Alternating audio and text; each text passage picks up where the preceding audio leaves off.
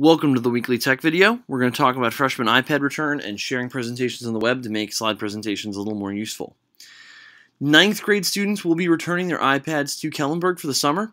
That's going to happen on the day of the last comp, June 16th.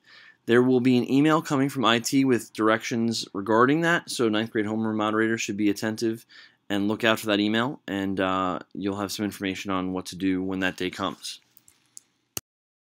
If you use PowerPoint in your class, and many of us do, this is a, quick tip that you might find useful um, for yourself and for your students. I think it's something that makes your PowerPoint presentations a lot more accessible, both for you as you go room to room in the building, but also for your students when they might need to access some information. So what this involves is translating PowerPoint to Google Slides first. So I'm going to take this presentation right here. It's called Patrick Henry and Thomas Paine. And by highlighting it on my drive with the click there, I'm going to go to More, and I'm going to say open with Google Slides. And what's going to happen now is that Google is actually making a copy of this for me, and it's creating a new Google Slides file from what was the PowerPoint, right?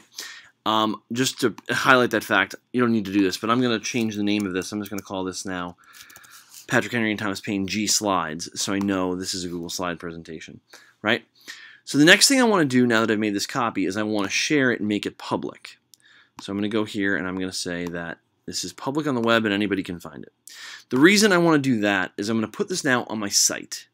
I want to make sure that anyone who goes to my site can see this because otherwise it doesn't really do much good. Um, so let's go over to a Google Sites page. Many of us use Google Sites as our web page. Um, and many of us put files for students to download, but we don't think to put slide presentations up like this. And let me show you why I want to do it. So here's my site. Let me go to edit it and I want to put that slide presentation right in. So I'm going to go Insert, to Drive, right down to Presentation.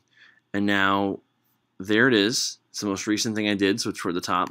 I'm going to Insert, gives me some options.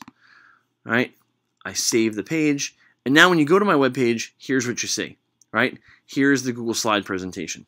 Why is this an advantage? Well, if you are teaching and you want to use this presentation, instead of going to your flash drive or going to your drive or trying to find the file, you go right to your website and it's live. And I can just click here and as soon as this loads up, I can present. So I'm two clicks away from presenting full screen once I get to my web page. I don't need to find the file. The file is there on my web page for me, and I can present this the way I've always done it. Okay.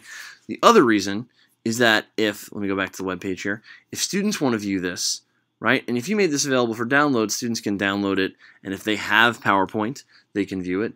Uh, they can try to print it or whatever, but they don't need to download the file to view it now. It's right there. It's live for them. They can navigate the slides, right?